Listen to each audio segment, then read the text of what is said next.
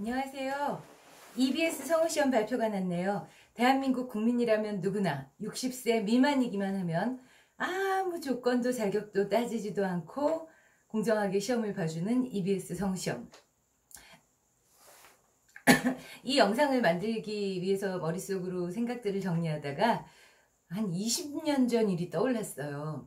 2001년인가 2년이던가 제가 그때 성우협회 산하에 있는 오네어즈라는 야구단에서 열심히 매니저 일을 할 때인데 후배로는 안 보이는 어떤 젊은 청년이 다가와서 안녕하십니까 선배님.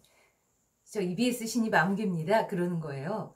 그때 저는 이미 성우 10년 차인 30대 중반의 성우였고 그리고 그 남자분도 나보다 나이가 많으면 많았지 적어 보이진 않았는데 신입이라고 그래서 깜짝 놀랐어요 알고 보니까 그해 EBS가 처음으로 나이 제한을 없앴고 그래서 30대 중반이었던 무려 저보다 한 살 많았던 그분이 신입으로 막 들어와서 야구단에 그 가입을 하러 찾아왔던 거였어요. EBS는 그렇게 의외로 가장 앞서가는 부분이 있습니다. 이제 그 60세 미만이기만 하다면 왜냐면 그것도 EBS 정년이 60세라서 그렇다네요. 누구나 성우시험에 지원할 수 있고 또 정직원들하고 똑같은 방식으로 선발을 하죠. 형식상. 그러니까 뭐 그런 것들이 굉장히 그 내가 EBS 소속 성우야 하는 데 대한 자부심을 심어주는 곳이 EBS 아닌가. 근데 의외로 지망생분들은 EBS에 대해서는 별로 뜨겁지가 않아요. 왜냐면 양분이 돼서 그래요. 나는 KBS에 갈 거야 하는 분들하고 나는 만화 전문 채널에 갈 거야 하는 분들이 나뉘어 있는데 이 두 가지를 다 잘할 수 있는 분이 가시면 좋은 곳이 바로 EBS예요.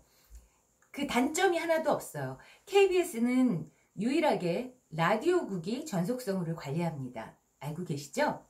그래서 입사해서 2년 동안 TV라는 매체를 통해서 내 목소리를 전달할 기회가 없어요. 좋은 선배님들 많이 계시고 다양한 라디오 채널에서 훈련을 쌓을 수 있다는 것은 좋지만 내가 만화를 좋아해 TV로 빨리 목소리를 알리고 싶어 하는 분들에게는 단점이 존재하고요.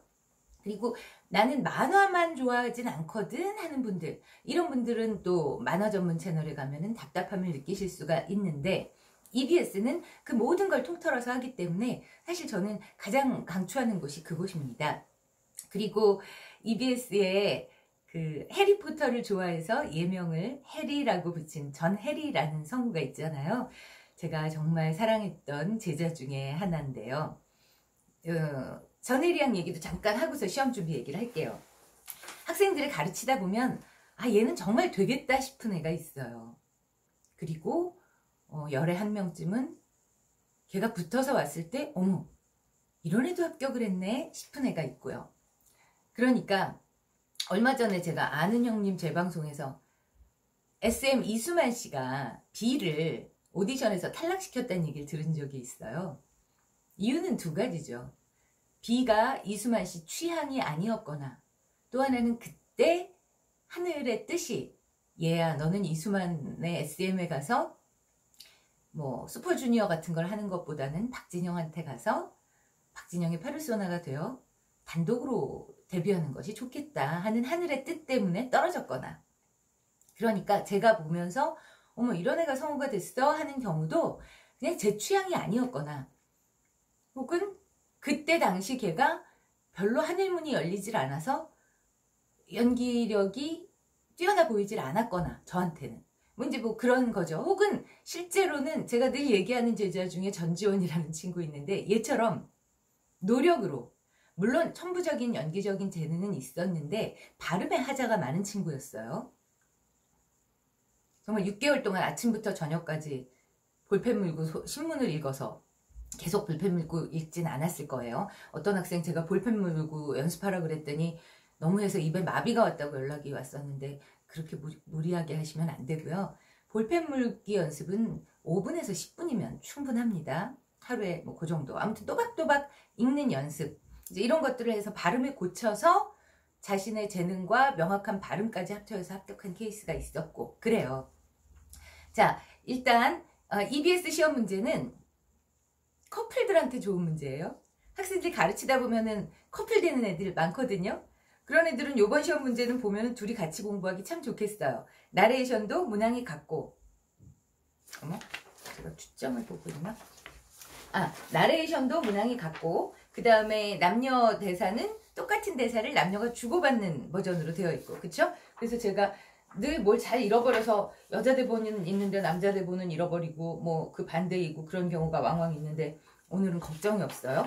자 어, 학원 다니시는 분들도 계실 거고 이미 영상이 올라온 것도 있고 하기 때문에 디테일한 부분들은 그런 영상들에서 짚어줬을 거라고 생각이 됩니다.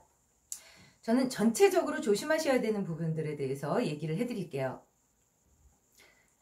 자, 이런 별거 아닌 음성 파일 녹음 및 제출 매뉴얼 이런데 중요한 팁들이 다 들어있어요. 대본 파일은 크게 내레이션용 원고와 연기용 원고로 구분되어 있습니다. 자, 그러면서 나레이션 원고를 앞에다 넣었어요. 왜일까요? 그렇죠. EBS는 나레이션이 굉장히 중요한 곳이에요. 교재 같은 걸 많이 만들거든요. 저도 코로나 때문에 아이가 집에서 온라인 수업을 하는 걸 보면서 EBS에서 만든 교재가 저렇게 많았나? 내가 젊은 성우 지망생이면 EBS 가겠다. 저기서 저토록 다채로운 연습을 할 수가 있구나. 뭐 그런 생각을 했었어요. 자, 그리고 유아 캐릭터, 10대 청소년 캐릭터, 중장년 캐릭터 등 총 4종, 4종류의 배역을 전제로 작성하였습니다. 작성되었습니다. 시험 문제를 누가 제일 깔끔하게 잘 냈냐 하면 저는 EBS에 1등 드리겠습니다. 정말 깔끔하죠? 유아 목소리 돼? 청소년 소리 되니? 중장년은 되니? 깔끔하게 이걸 물어봤어요. 그러면서 그, 그 뭐지? 10대 청소년 캐릭터에서는 요즘 제일 인기 있는 레이디버그 대사를 갖다가 썼고 또 본인의 목소리로 각 유형에 맞는 목소리를 파일 형태로 녹음하여 주시기 바랍니다. 이건 뭐 이제 남의 도움을 받지 말라는 거고 4개의 녹음 파일은 반드시 무슨 무슨 규격으로 기계 조작을 하지 않은 상태로 제출해야 합니다.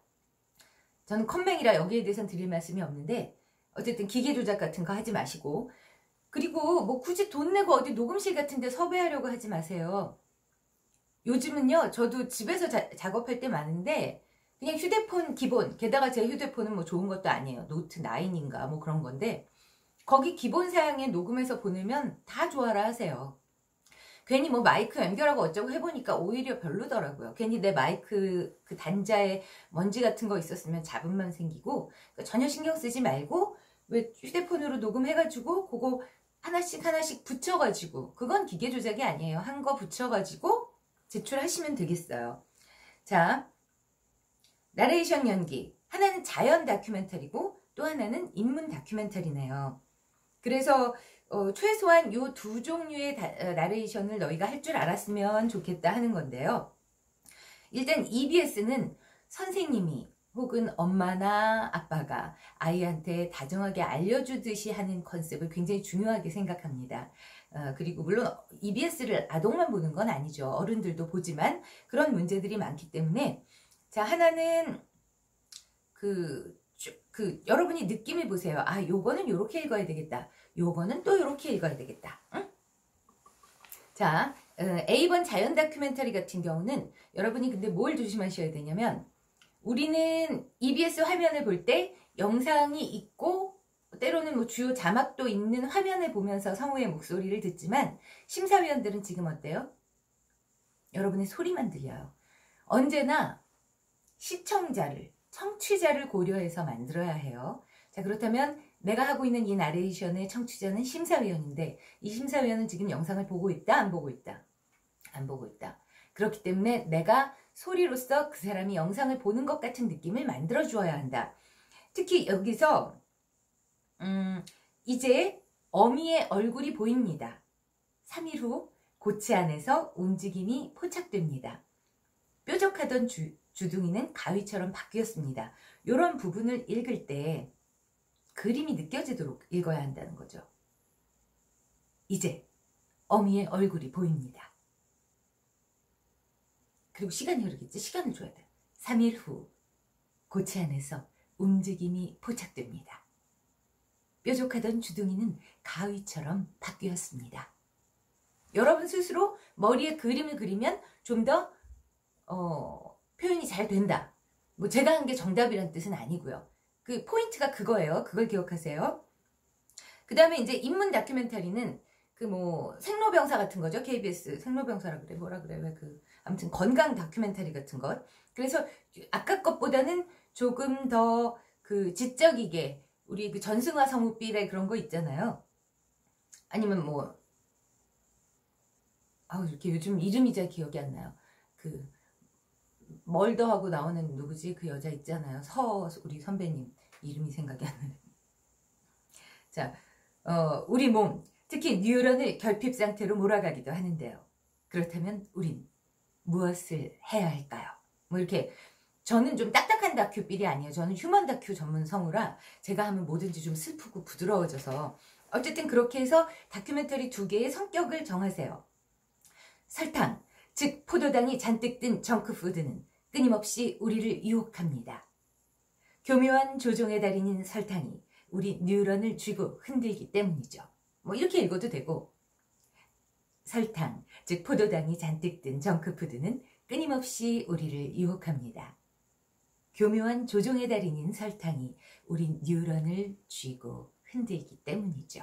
뭐 이렇게 읽어도 되고 그냥 두 개를 다르게 하시되 나한테 편한 두 개 중에서 하나를 골라서 하시면 돼요. 다만 밑에 것은 그림이 그려진다기보다 물론 그림을 여러분이 그리셔야 돼요. 분명히 CG 작업을 통해서 어, 제작자가 그 프로듀서가 그림을 만들어냈을 거예요. 무슨 뭐 화학 분자 구조식이라든지 해서 뇌 속에 있는 뉴런이 반짝반짝하는 모습이라든지 그럼 여러분이 그런 그림을 상상하면서 낭독을 하셔야 돼요. 그리고 아까 거는 자연 다큐니까 사실 관찰한 화면이 있었겠죠. 그걸 여러분이 머릿속에서 여러분이 이, 그, 이 글을 보고 그게 그려지지 않으면 낭독을 하면 안 돼요. 자, 알은 모두 사라졌고 커다란 애벌레가 차지하고 있습니다. 이 부분이 여러분 머릿속에 그려져야 그때 낭독이 되는 거예요. 자, 그리고 그 나레이션 원고를 했을 경우에는 특별히 뭐 그 앞 뒤로 퍼즈가 크게 필요하진 않죠. 그런데 연기로 들어가면 그 중간중간 퍼즈가 굉장히 중요해집니다. 물론 나레이션도 퍼즈는 굉장히 중요해요. 끊어읽기 보려는 거잖아요. 내용 전달을 잘하고 있는가. EBS는 이 내용 전달을 잘하는가가 가장 중요한 곳이기 때문에. 자, 그래서 어, 일단 여기까지만 하고 영상 마쳐야 될 것 같아서 기억하세요. 이 해설도 연기다. 그래서 내가 이 해설에서 말하고 있는 부분들이 내 머릿속에 그림으로 그려지지 않으면 나레이션 녹음을 시작하면 안 된다. 음. 그리고 그것이 자연 관찰 화면이라서 카메라가 직접 잡은 자연의 모습이건 혹은 CG 프로그램을 이용해서 어, 가상으로 만들어낸 영상이건 그것이 내 머릿속에서 내가 PD라면 이렇게 그림을 만들었겠지 하는 작업이 끝난 뒤에 끊어읽기 잘 맞춰서 나한테 편안한 목소리 중 두 개를 성격을 다르게 해서 하나는 좀 차분하고 딱딱하게 하나는 조금 더 따스하게 나한테 적어도 이런 두 종류의 목소리가 있어 하는 걸 보여주는 형태로 그렇게 만드시면 되겠다 하는 겁니다. 자 일단 첫 번째 영상은 여기서 마칠게요.